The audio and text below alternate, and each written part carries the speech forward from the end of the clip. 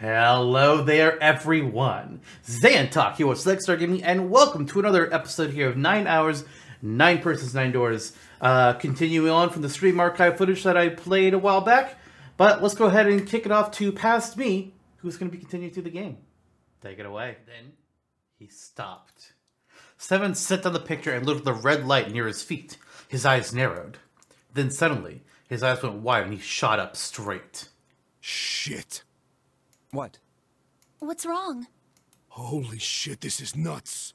Um, what's nuts? I remember Remember what? everything. Everything? Get there! Yeah, yeah, I, I remember all of it. My memory's back. I, I Fucking what finally. I got snatched. Seven's voice was filled with excitement. Shock and excitement had frozen Junpei in place, along with Snake and Clover. Let me tell you what happened. Seven hastily drew a shaking hand across his mouth and began to speak. Like Snake said, Ace is Hongo from the right. The other three are Musashido, Nijisaki, and Kubota. Musashido was the man with the cash. Nijisaki was Hongo's right-hand man. And Kubota developed the actual technical details of the experiments. Realization began to dawn in Junpei, along with a pressing question. How do you know all this? Come on, man, I told you, I finally got my memory back. Okay, yeah, No, that's get not that. What I mean. I'm trying to ask you why you knew all this stuff in the first place before you forgot it. Seven rubbed the scar on his chin. You Really want to know? Of course. Me too. Snake was the only one who didn't voice any sort of agreement. He looked at Junpei as if he was simply waiting to see where Seven's sudden recovery might take This them. is gonna take a while.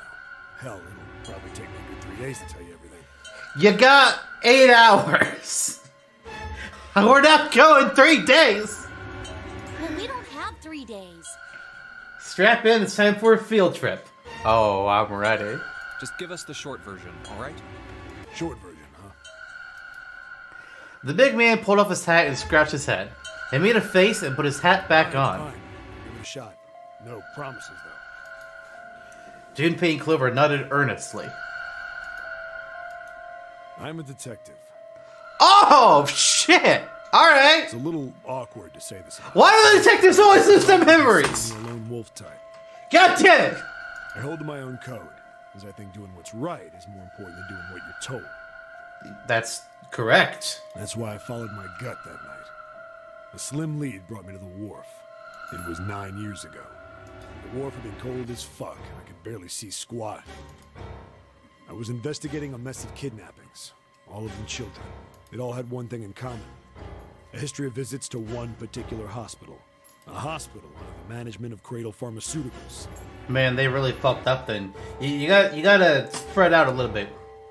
Oh, one hospital? Come on, guys. Of course you're gonna get figured out. My investigation had turned up evidence that Cradle had been involved in the kidnappings. This is just Umbrella. After a little sweet talking, I managed to finally get a real lead from someone inside Cradle.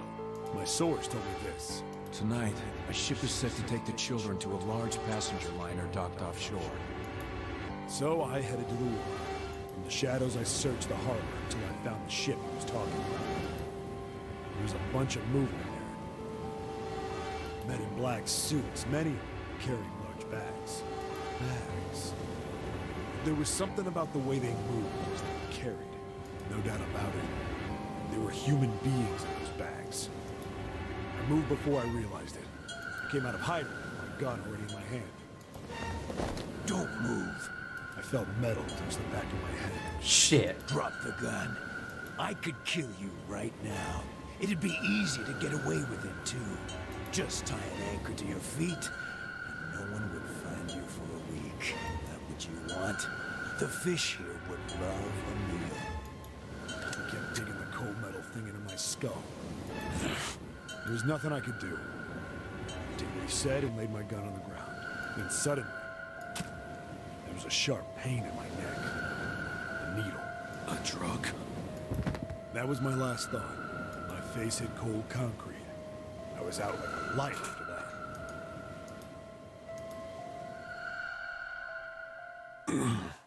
I woke up on a hard floor. Damn it. Shit, my head hurts. I did a quick once over of the room. Where am I? A small, shabby bed, a dirty sink, a toilet with no privacy. I'd seen it countless times as a cop. I'm in a cell, huh? Facing the toilet was a door set into the wall. I was still pretty woozy, but I made my way over to it. I pushed and pulled on it, but.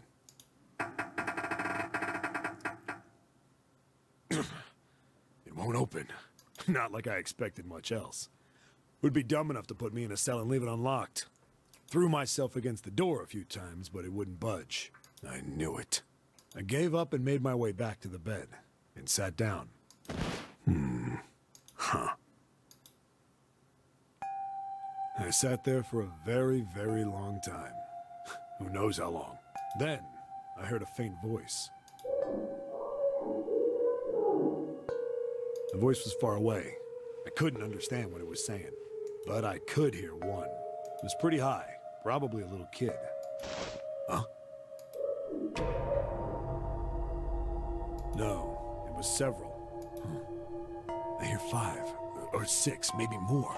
I'm pretty sure he's in one of the two locations that the games were played on. Just which Where one I don't know. From? The sound effect they used before when he's trying to open the door was the same sound effect that the boat makes. That could just be reusing it. I Pressed my ear to the wall and tried to listen through it. No, that's not it. Left. It's coming from under the bed? I hauled on the metal frame and flipped the thing over. And there it was. The bed had hidden an air vent on it. The hole in the wall was covered by a metal grate. This face. I dropped flat on the floor and peered through the grate. I couldn't see shit, but I knew it in my gut. This was where those voices were coming from. Hold on. Why are there kids here? But then when my inside man told me, popped into my head. Tonight, a ship is set to take the children to a large passenger liner docked offshore. Whoa, whoa, whoa. Am I on that ship? That would make sense. All I knew was I had to get to those kids. I checked out the metal grate. Hmm. Could I fit? I stuck my fingers in and grabbed it. And then.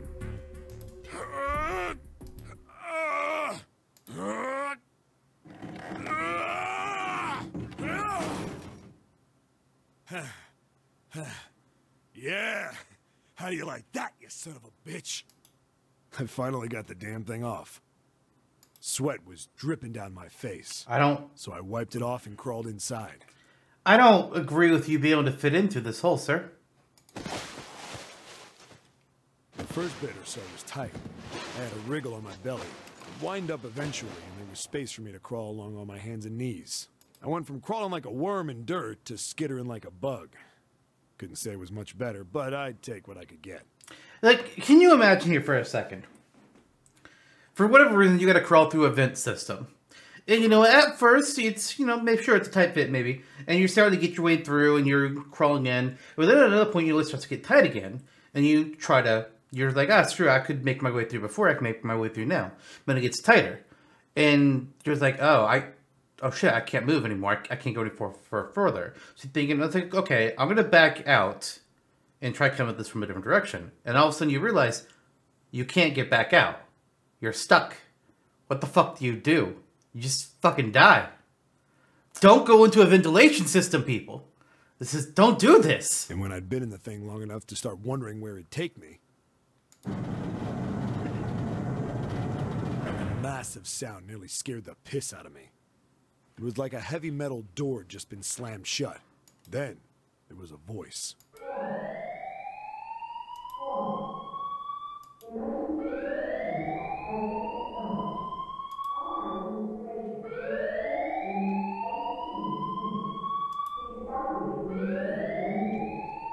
Um What? I wasn't sure what it meant, but anything with incinerator is bad news. Yep. Then, almost as if that was a cue, I heard a mess of young sounding voices. A bunch of them were straight up screaming in terror. And all the sounds together made a howl that made the hair on my neck stand straight up. Damn it!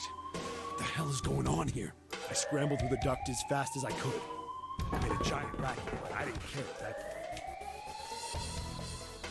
I soon found a metal door on the left side of the duct. The kids were screaming on the other side. I found it. I yanked the handle and threw the door open. I almost ripped the metal off its hinges. Boy, he has great clarity of this event from nine years ago. I couldn't believe what I saw. The room had a dome up top. Had to be about nine walls, all the same size. Up in the ceiling was an upside down funnel, almost like a chimney. I looked down. There they were. The kids I've been searching for. I don't remember who was in what facility. I remember, I know Santa and his sister in one, and I'm just thinking of a white haired guy. This kind of reminds me of Snake. And I'm just saying a ponytail, and for some reason that's bringing to mind June. They all gawked up at me, suddenly silent. For the moment, from surprise and fear. Scared of the room or me, I couldn't tell. Probably both, actually. Not like I can blame them running into a mug like this when they're already scared shitless. I snorted at my own dig at myself and turned to the kids. Don't worry, kids, I'm not your enemy. I'm one of the good guys. All of them stood there, frozen. They have no proof of that. One. He was a boy, slightly older than the uh-huh. in private school uniform. Who the hell are you? He stepped forward and glared at me suspiciously. I'm a detective. I'm here to rescue you. It looked like they relaxed some the second I got the words out. How are you gonna help us? Where's the exit? There isn't one. The doors we came in through won't open, and the door over there. He kind of cut himself off. I think he was considering something before he changed his mind. A very familiar looking door from our first thing. Anyway, there's no point. We can't all get out of here. If we don't get out of here, we're gonna be burned to death. Burned to death. Can't you hear it? That voice said the incinerator's gonna start up soon. So, so. The voice spoke again. Incineration will begin in 15 minutes. They only had 15 minutes. I looked back down at the kids. Looks like a good 20 or 30 feet to the floor. No way I could pull them up. Too big of a distance for any of us to reach. What the hell was I gonna do? I mean, stand on shoulders, maybe? But then I got an idea. Wait right there. I'm gonna be right back. What? Where, where is he going? Are, are you just gonna leave us here? They just got frightened again. I'm not the best at that kind of thing, but I tried to reassure them with a smile. Don't worry, all right? I'll be back, I promise. So just stay calm and wait right there. Got it? I didn't wait to hear them respond. There wasn't time. I had to hurry. Well, as fast as a guy could on his hands and knees. Didn't take me long to get back to my cell. Still no way out of there, but I had a plan. I needed something from the room. When I got it, I dove back into the hole and took off towards the incinerator. Bed sheet? Sorry to keep you waiting, guys. I tipped out the doorway and dropped down the rope I brought with me. Back in the cell, I'd Yeah. torn the bed sheets into strips and tied them together to make a rope. Sloppy, but it got the job done. All right, just tie that around yourself, okay? I'll pull you up one at a time. Right. Huh. Wait a sec. Something was off. There were more of you before. Where'd the rest of you go? The boy in the uniform answered. I mean, I still only see four people. I let them go on ahead. We opened the number nine door and they left. What? You're telling me you opened that door? That's what I said. And what the hell are you doing here? We couldn't go with them. Why not? Look, the only people who can go through the numbered door. He was in the middle of explaining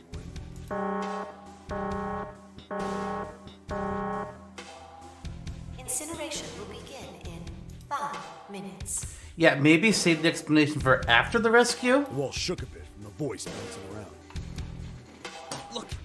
All right? Just get us out of here. Uh, right! I grabbed onto the rope. First one I pulled up was a girl with a ponytail. Next was a girl with a red necktie. A boy in a jacket came after. He said he'd climb up on his own. The boy in the uniform was the last up. Like the other kid, he climbed up the rope himself. He looked pretty scrawny, but I guess he was stronger than he looked. He moved fast, but when he was almost to me, I had a feeling from this picture he was gonna I fall. heard some knocking. Everyone looked at the door. It had a thick, square window set into it. On the other side, an angry face was staring in. God damn it! What's going on here? Why is the room empty? Where the hell are those fucking kids? Away from you, you fucking asshole.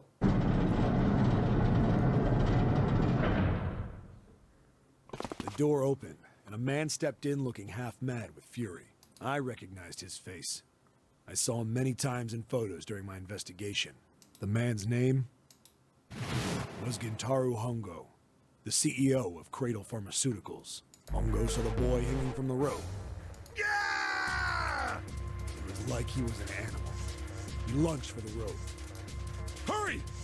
I know! The boy in the uniform booked it up the rope.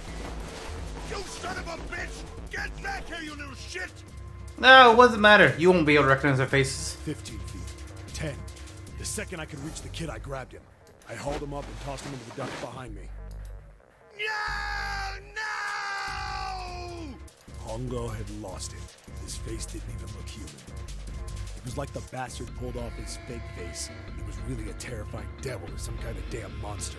I quickly reeled in the rope, leaving a furious Hongo yelling at me from the floor. You fucking bastard! You won't get away with this! How dare you compromise this experiment! Maybe you should have fucking had him killed and not just locked him in a goddamn cell in the same place your experiment's being run. You fucking dumbass. Literally, this is on you. Experiment? What experiment?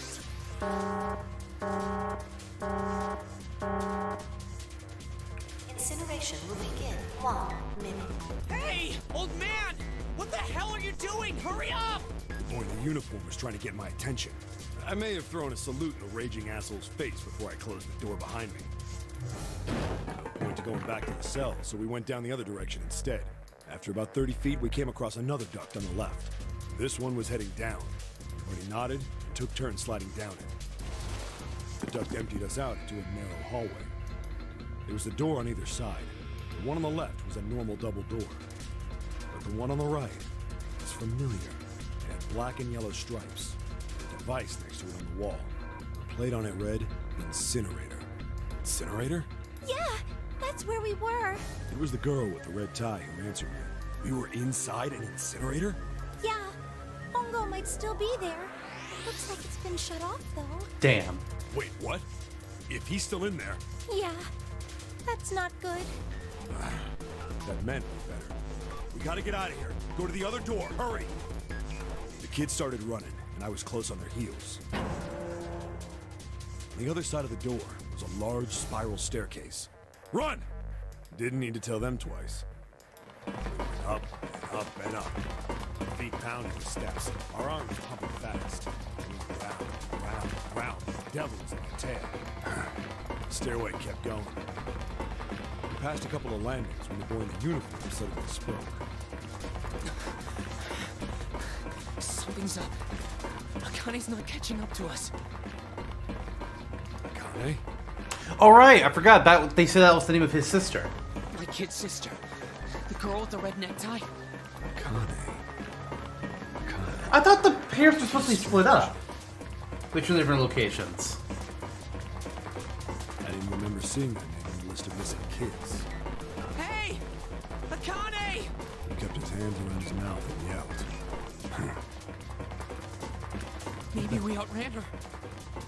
The boy in the uniform skidded to a stop. Stop stopped too. So did the other two kids. When did we do that? Well, we passed a couple big rooms on the way here. Maybe she took a rest in one of them? No, that's impossible. Sorry, Grandpa. You keep going. I gotta go look for her downstairs. He turned to go. Hey, kid, wait! God damn it, I said wait! I don't think the kid even heard me. Fuck! I spun around to the boy in the jacket, the girl with the ponytail. I'm going after him. You two keep going, alright? You got it? The girl nodded and ran up the stairs. Boy. I'm going with you. That is definitely a young Snake voice. I didn't have time to argue. I just nodded and took off down the stairs. I could hear him following. We ran all the way to the bottom floor, calling for her. Connie was nowhere to be found. God damn it, where the hell did she go? I could tell the kid was frustrated. And then suddenly, We heard a girl's voice. Akane! The boy in the uniform threw open the door and leapt into the hallway by the incinerator. We rushed in after him. I couldn't for the life of me believe what we were seeing. Are you telling me she went back in the fucking incinerator? That bastard Hongo had Akane by the arm and was forcing her into the incinerator. Come on, goddammit, move! No, I don't want to! Let me go, please! Let planted her feet squarely on the floor and was struggling to get away. But Hongo was bigger and stronger. She wasn't gonna win. Akane! Her brother roared with anger and charged toward Hongo. Help me! Ah! You're too late, idiot! Hongo lifted Akane bodily into the air and threw her, still fighting with the incinerator. Before we could even blink, Hongo had leapt through the door after her. Notice they changed her name to say Connie, now just as Kane. Even though I don't think he called her that.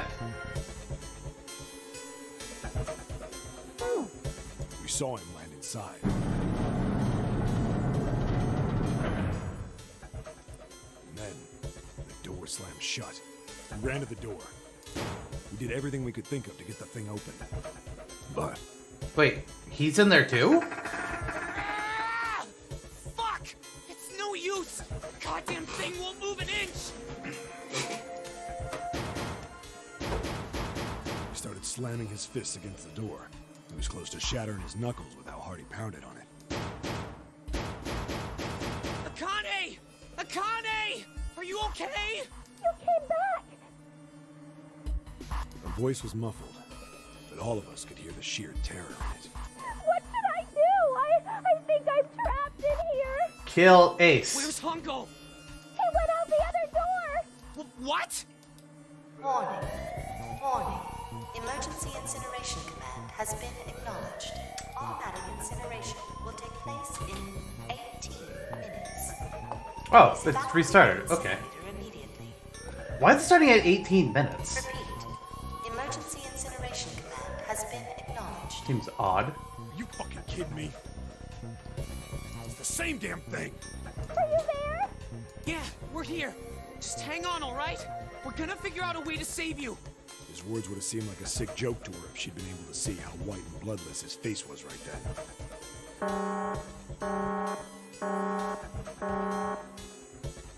Incineration will begin in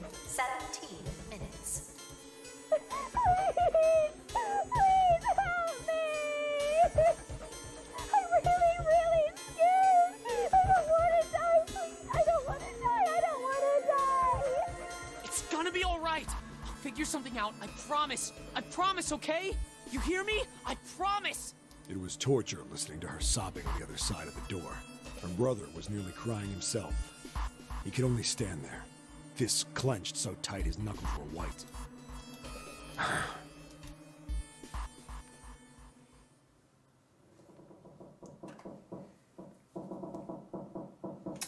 Well, at least now we know what Seven's involvement was for the previous games.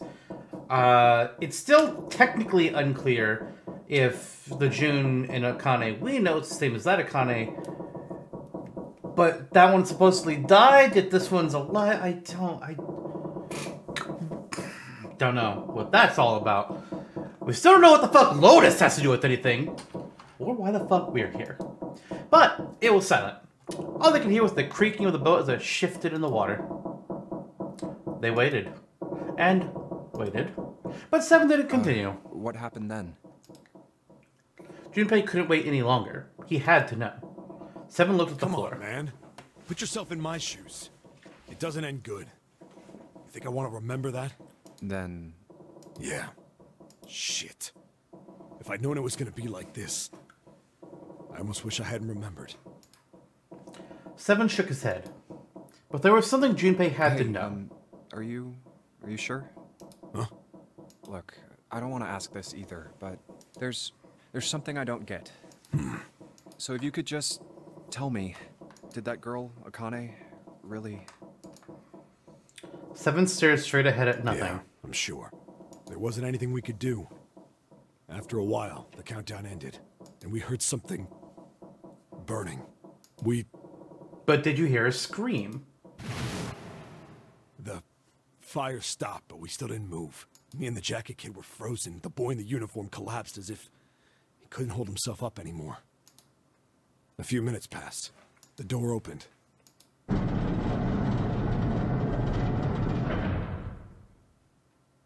boy in the uniform tripped over his own feet running in. We followed, too numb to speak. The air in the incinerator was hot. Every breath made my lungs feel like they were on fire. It was like standing on hot asphalt. The air was wavering, and, and in the middle of the room, there it lay. The kid's legs were shaking so bad, I don't know how he managed to walk. I couldn't see his face, but his body somehow looked empty. Finally, he reached it. He fell to his knees as his legs gave out on him. And then...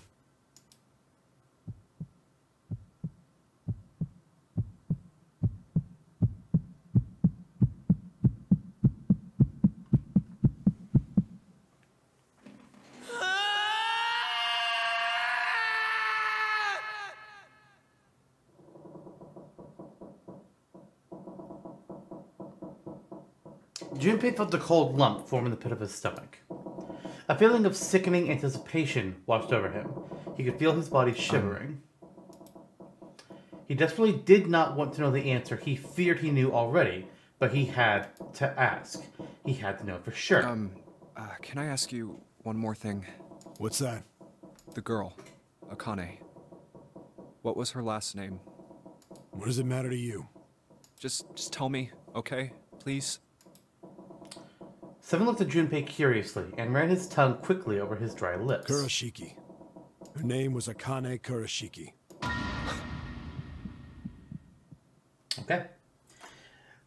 I had a thought, just real quick here. Early on, early on, June was a little bit like in the in the early part of the game when we, after we did our first inning, we chose the opposite door from the beginning. We got to actually do a escape room with June, and she was being uh, clingy as fuck. She mentioned that a classmate could have been involved with all this. Well, her brother would have been, you know, somebody at their school. And our character went to school with the, with June. So, uh, looks like she might have been right all along. Maybe she knew everything that was going on from the beginning. Something inside of Junpei stopped. Oh, and- she might be a ghost. Maybe we're imagining all this. I don't I don't know how she's here. This is the part that confuses me the most. He had no more words left. He had no more Junpei left. He was the shell of flesh and bone. Seven turned to Snake. You were there that day, weren't you? The tall kid in the jacket. That was you, wasn't it? Yes, it was. You are correct, Detective. Junpei's mind was blank, withdrawn from the world. Somewhere far away, he could hear Seven and Snake talking. Don't misunderstand me. I told you before how Zero threatened me. There was nothing I could do. I couldn't say anything about what happened nine years ago. So you're saying you're not working for Zero, right? Of course not. Clover, what about you? Hey, come on! You really think I'm working with Zero? That's not a no. I told you before, you idiot! I was in Nevada, in Building Q. That's also not a no. I did hear that a detective rescued the kids on the boat, but This is a lot of words that aren't no. I didn't know it was you. Her surprise seemed to be genuine. Seven regarded Clover for a moment and rubbed his chin thoughtfully. Well, I guess I believe you. Actually, you know what? No, we do. We do know that can't be here because she died in the timeline that where Zero is still. Oh no, she could technically. No, that's right. He wasn't saying she is, or just that she's going to be working with him. Which again, she did not say no. All right, let me ask you another question. He stuck his hands into his pockets and took a few steps. Then he stopped and turned to face them again. Santa's real name is Aoi Kurashiki. Uh huh. He's Akane's brother. Mhm. You know that? No! No, I didn't. Did you? Well, yes. I know Aoi Kurashiki was her brother. But I didn't know he was Santa. At least not from the beginning. Nine years ago, he was in the middle of puberty. His voice is entirely different now. As is yours. I'm ashamed to say that even my exceptional hearing wasn't able to make that connection. As such, I had no reason to think Santa was Aoi. When did you figure it out? Clover told me that Santa might have been one of the subjects of the initial experiment. It was only a short while ago, while we were leaving the library. When she told me that, I had a feeling. Santa is Aoi? Akane Kurashiki, June's brother? That spark caught flame in Junpei's leaden mind, and the fog began to clear. Like an engine beginning to turn, images and thoughts began to coalesce in his mind, coming faster and faster, forming bigger images, bigger thoughts. Junpei blinked. He was back. There's still a lot we don't know. I mean, like a lot, a lot. But there is one thing I think we can say we know. What's that? Ace is an asshole. That's what we know. The body we found in the shower room. It had to be Nijisaki, dressed up to look like Snake. Hmm. What? Come on, man. What kind of detective are you? You didn't figure that out already? Hey, go easy on me, man. I just got my memory back, alright? Cut me some slack. Okay, but the last detective I know that lost memory was still very good at detectiving before they got the memory back. Hmm. Well, if he is, the three murders make sense then, don't they? Yeah, that's right. Murder. Kubota blew himself up, but that was murder too. So why did these murders take place? If Junpei is correct, and the body in the shower room was Nijisaki's, that means all of the people who were murdered were involved with the creation of the Nonary Project. Kubota, the person who conducted the actual experiments. Nijisaki, Hongo's assistant. Musashido, the man who financed the project. You mean this was all just revenge? Santa is Zero. He's getting revenge for the death of his sister. That's why he killed them. No, I, I don't think Santa actually murdered anyone. In fact, Junpei didn't think he knew. I mean, he's right with two of them, but what about the captain? He couldn't explain why or how, but he had noted that Santa had killed no one. Perhaps the madness of the last several hours was finally driving him insane, but Junpei had ceased to be surprised at his sudden knowledge and had even begun to If accept right, it. Then it's not hard to figure out who the next victim's gonna be, is it? I'm pretty sure I don't have to tell you. Yes. Yep. Right. Snake, Clover, and Seven all nodded. The next target will be Gentaro Hongo. The person who planned the Nonary project. In other words, Ace. Good. Fuck him. There was a moment of silence, What? And then the room shook. From far away, they heard the sudden rush of water. What, what the hell's going on here? It must be 6 a.m. Our time is up. Oh. Come on. Right. We need to get out of here. How? In the drawer that had held the picture was a key card. Junpei grabbed it. I'm betting this sucker opens the exit. Come on, let's go. New material! Key card zero. Is it a zero or is it an O? Zero, zero. God damn it. Zero's just screwing with us, isn't he? Uh, I'm trying to remember the fuck. Yeah. Alright, let's just swip the card! Junpei, look! It's unlocked! Yeah, now we can go back to the library. Hurry up, Junpei. We don't have time. Let's go. Yeah, yeah, yeah.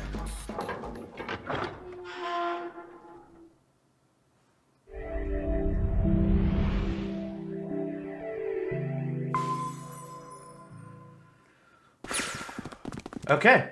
Uh, what the fuck have you guys been saying for this last bit? Uh, Lotus gets some preliminary info in door two. She has two twin daughters who participate in the game. Oh, okay.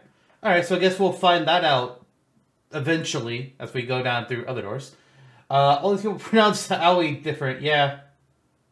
Yeah, that, yeah.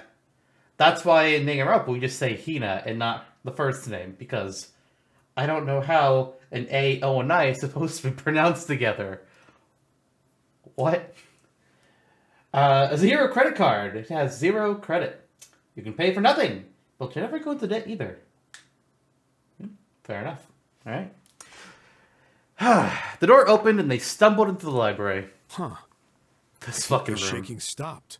It would seem so, but we are yet to be out of danger. You're right. Let's hurry. They ran across the hallway. This exit needs the Uranus card too. Straight for the large metal door. Next to the door was a Uranus card reader. Hey, Junpei. Yeah, I know. They slid the key card through, and the door rumbled open. All right, it's open. Let's go. Out of the library and into the hallway they ran. At the end of the hallway was a door. Junpei reached into his pocket to pull out the keys as he ran toward it. Okay, Neptune Key, let's see if you work. Imagine if it didn't. Yes, I think it unlocked. You think? The lock clicked as when they shoved the door open and poured through it. Also, I recently learned about Makoto Naegi. On the back of his hoodie, it's a logo of a gas mask. That part I knew. Uh, a, possibly a cheeky Zero Escape reference from Spike Chunsoft. I, I remember reading about the hoodie that there was a, the that there was the gas masks on it, but I did not remember what it was referencing because I had not looked at this stuff yet. So I, I, I knew, I just forgot. There, there was there's a lot of character designs that they put into a lot of things for, for a lot of references in those games I've found. Ah, but in front of them was another great metal door. Above it was a metal plaque. It says Uh, incinerator. That one. So this is the incinerator. Let's not go in there. The first time I've seen it from this side, but yeah. Then there ought to be a lever near the door. Yeah, right here. Junpei ran up to it. Pull that and the door should open. Got it. As he spoke, he pulled the lever.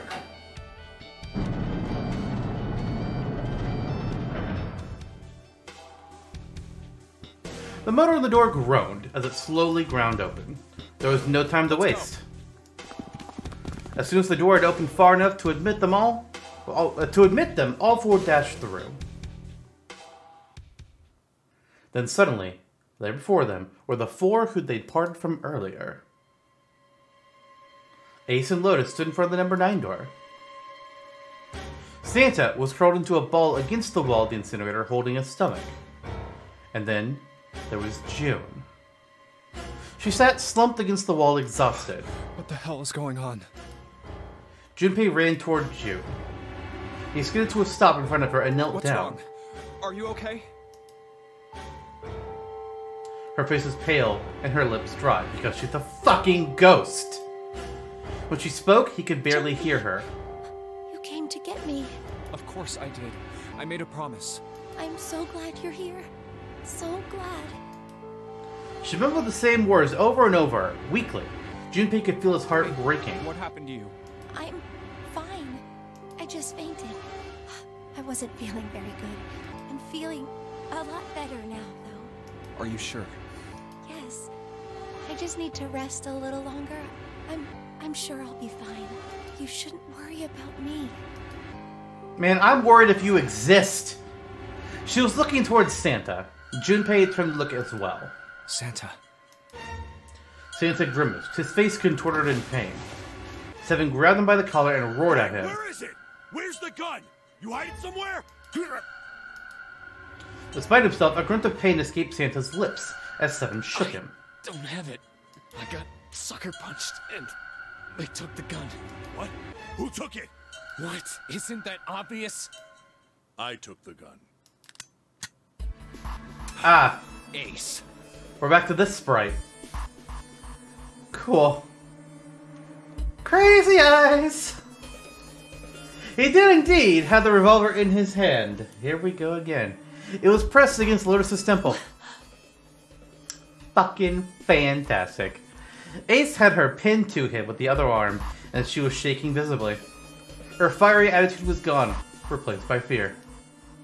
She didn't dare speak.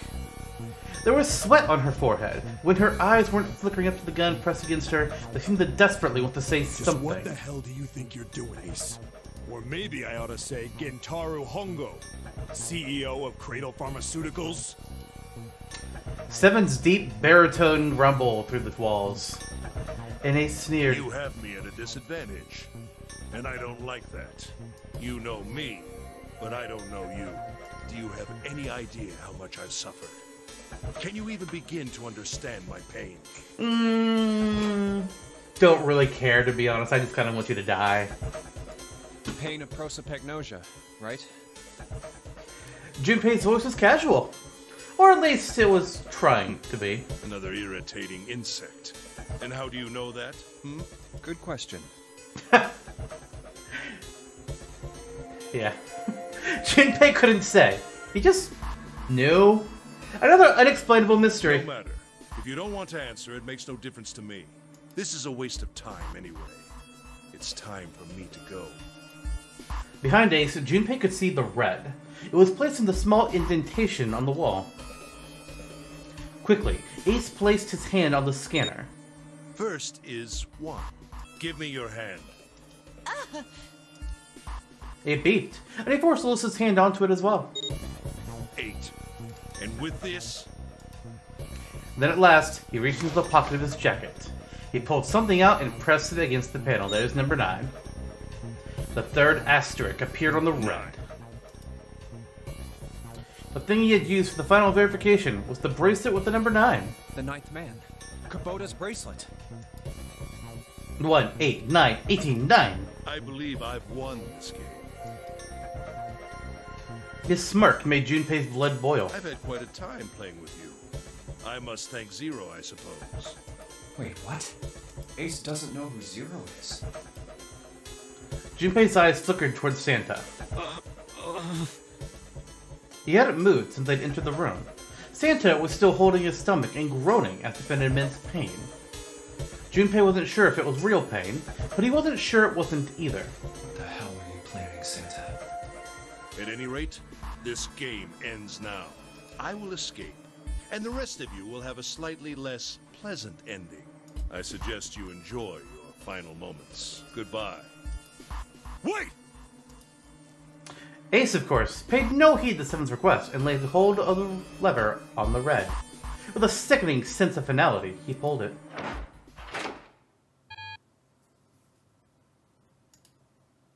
What? Why isn't it opening? One more time. Lotus tried to take advantage of Ace's confusion and managed to twist herself out of his grasp. But. At the last second, he grabbed hold of her wrist and shoved it onto the red. Now open! He waved the number 9 bracelet over the red and then his own bracelet as well. He pulled the lever a second time. No! What is this? Why? That digital root should be nine! It has to be nine! Then why? Why isn't it opening? Oh, right. I remember now. Because it's not 9. It's 6. Ace's fury and confusion had overridden all other thoughts. He had set down the revolver. It was just below the red. Seven chose that moment to act. He moved far faster than a man of his bulk should have been able to, and he launched that bulk straight at Ace.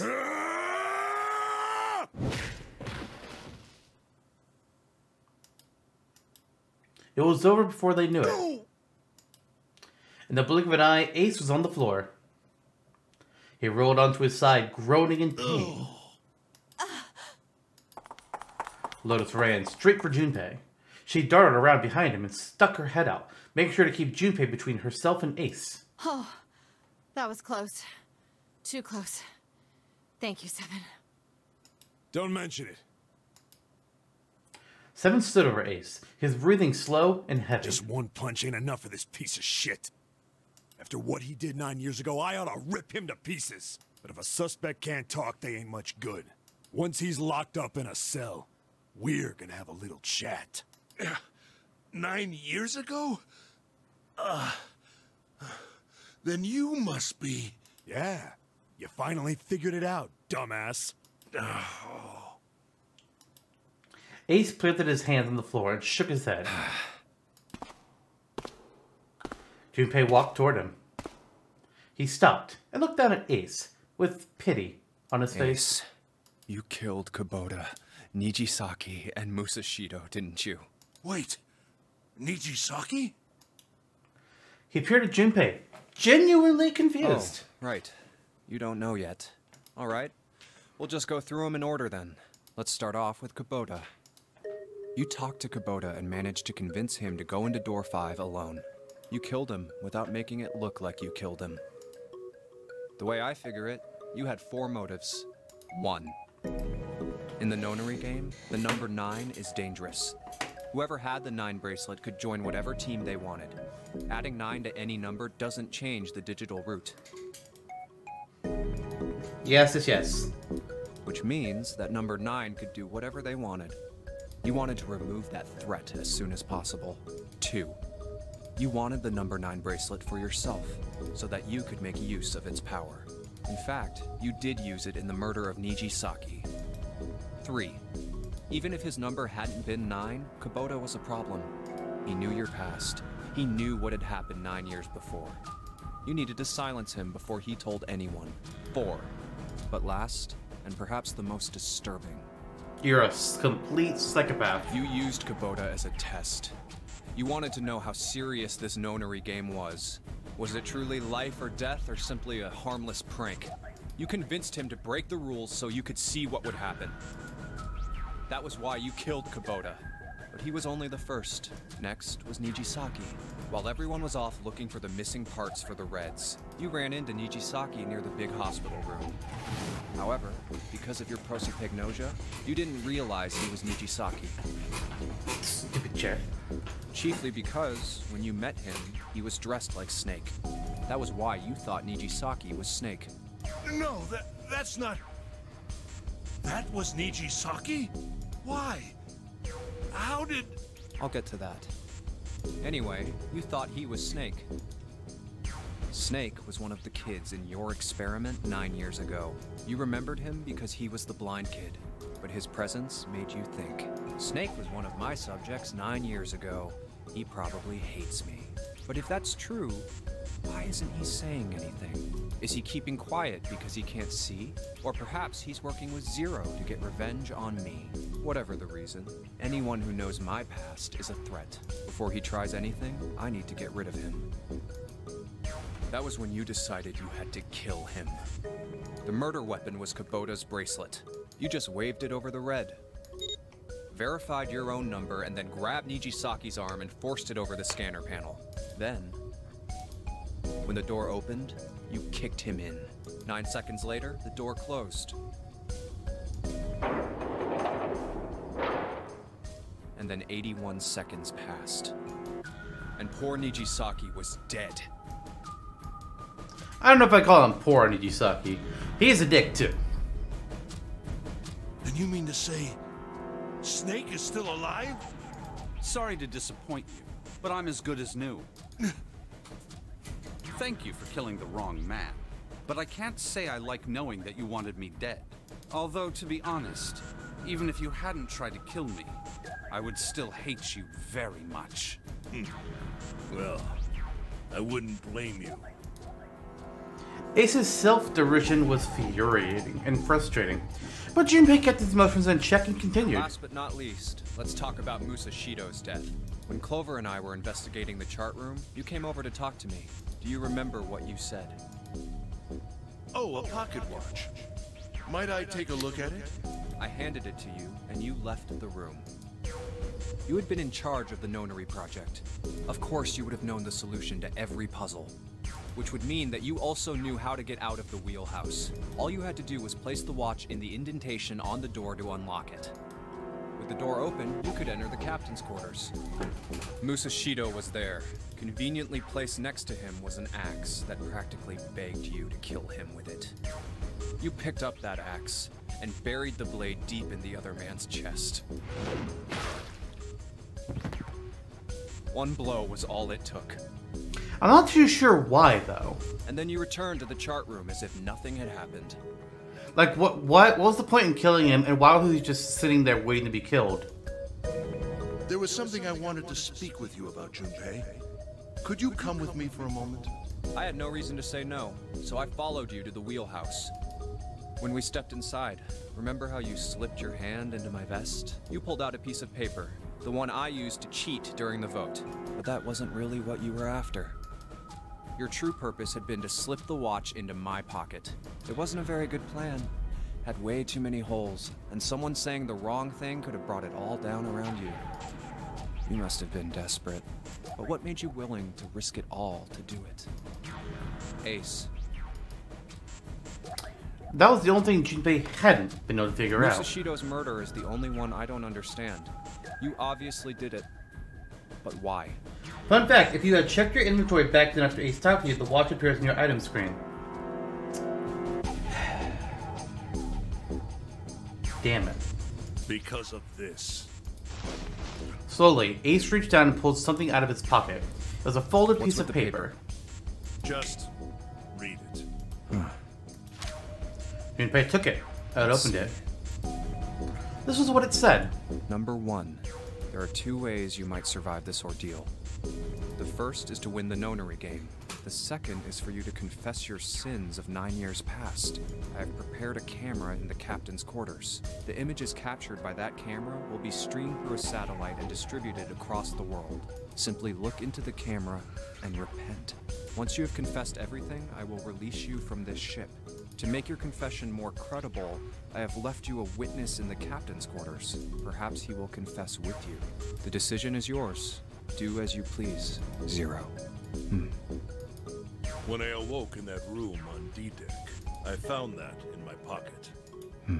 That was why I chose door one when we voted. If I went through that door, I knew I could get to the captain's quarters. As you said, I knew how to enter the wheelhouse. My plan was to find the pocket watch before anyone else. If I could, then my alibi would be set. At least, that was the plan. Unfortunately for me, you got to it first. That sleight of hand was the best I could manage on short notice. You meant to kill him from the beginning then? uh, Musashido, I mean. I only knew Musashido was the witness after I reached the captain's quarters. I asked him, and he answered. He seemed groggy. Perhaps he had only just awoken from sedation. I suppose Nijisaki was in much the same state. He seemed confused and disoriented when I encountered him. But yes, you are correct. I intended to kill him from the beginning, even though I didn't know who he was. I also wonder why Ace and Nine were part of the game, but the other two were just NPCs involved with it. Why not make all of them involved? Or just him, make the Nine also be a, an NPC that get, mur- to get murdered later. I proceeded to the captain's quarters in order to remove this so-called witness. Ace had confessed to everything. What energy he had left with the what energy he had left him with the truth, and he sagged on his knees. Although he had confessed, his sins were not forgiven. Hmm. Junpei felt revulsion for the pathetic man on the floor near his feet. But in among the revulsion was a hint of pity. After all, Ace had not been the only person who murdered those three men. Junpei spoke quietly. Ace, you, you figured it out, hadn't you? You were being manipulated. Yes, so it would seem. I was little more than a puppet, in many ways. Everywhere I went, everything was already prepared. The Reds in the large hospital room were dismantled. Nijisaki was dressed like Snake. There was an axe in the captain's quarters. Musashido was delirious from the anesthetic, so he couldn't fight back. Nijisaki as well. In retrospect, can't understand how I could have fallen into such a simple trap. But yes, yes, this was a trap. It was Zero's trap. And I fell for it, hook, line, and sinker. I did everything he wanted me to do. You sure did. Yeah. By manipulating you, Zero was able to kill three people and keep the blood off his own hands. All of this was revenge for what happened nine years ago. That's why this nonary game happened. Am I right, Santa? Junpei looked over at Santa. As Junpei spoke, he stood up, his legs still shaky. What the hell are you talking about? I don't know any. Ain't no point trying to play dumb anymore, Santa.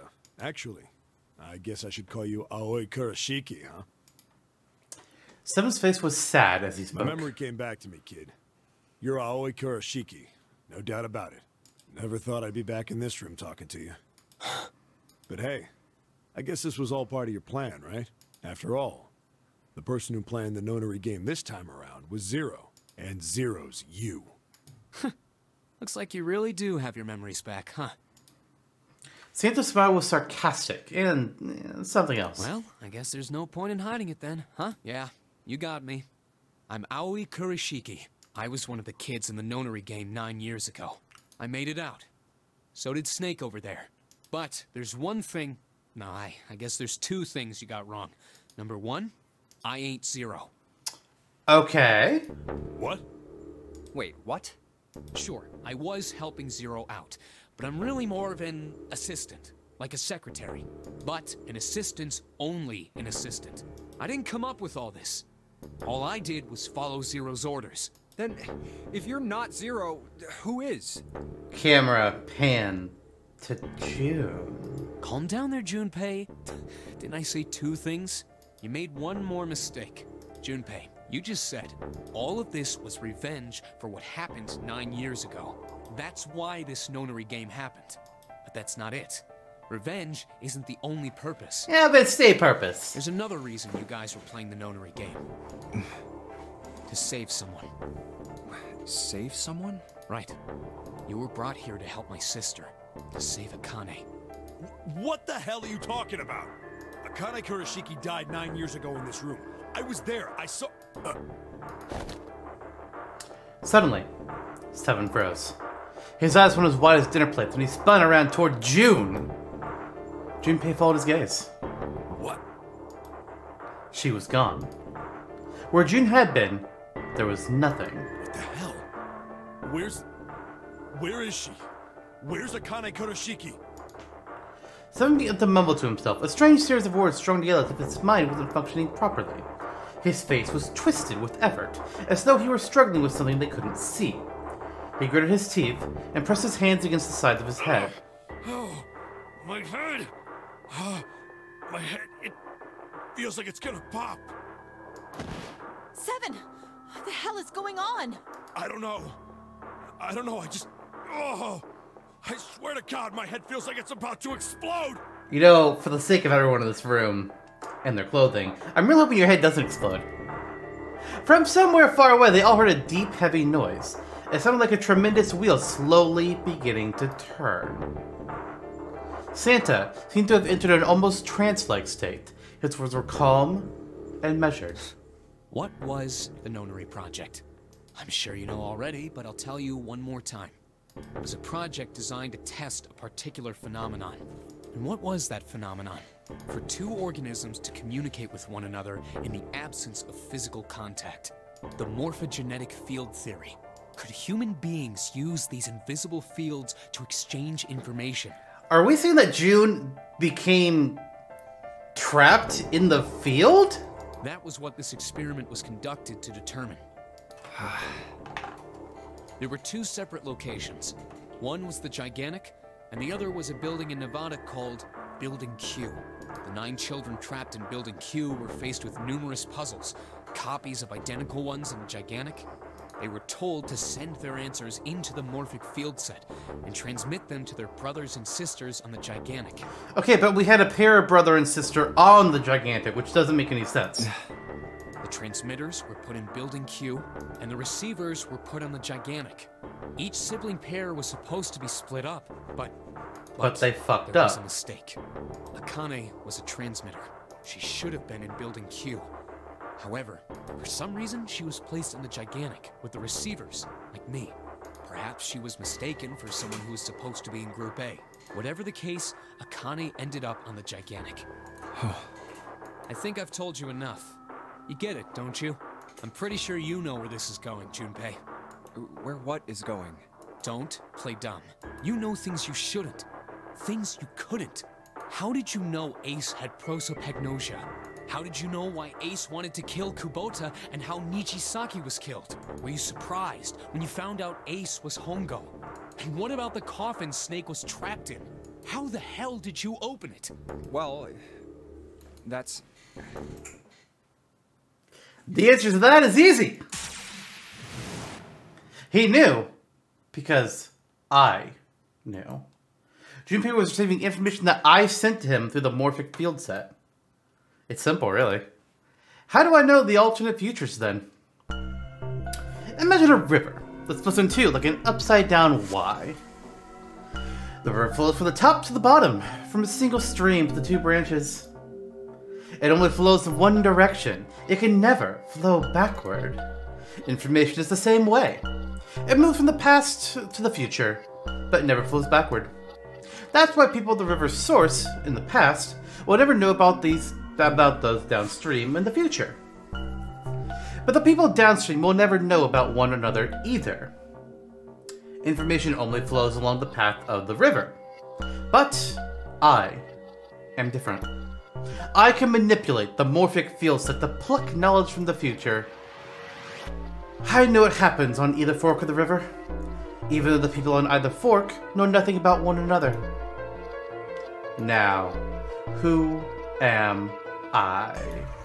I am I, the ninth letter of the alphabet. But I am also zero. No, that's not true. I'm not really zero. Not yet. Perhaps you could say I am less than zero. Zero is my future. In nine years, I will be zero.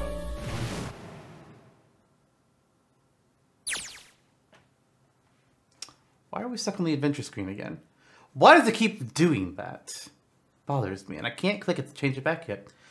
Where where did she go? June? No, Akane. Where did you go? Santa!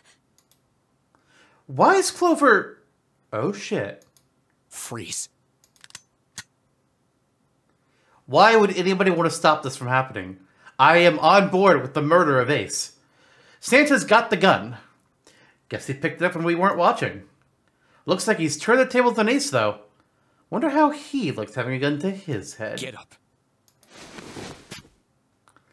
Sure isn't about to take that gun off him for a minute, is he? Ace isn't putting up any kind of fight. I mean, I don't think I would either. But he just looks drained. Huh, I guess he's going for the door, huh?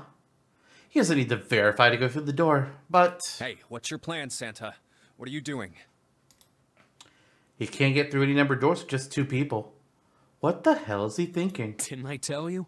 I'm Santa Claus. It's time for me to go make a wish come true. That's it? That's all he's gonna give us? What the hell does that even mean? Shit. They're out.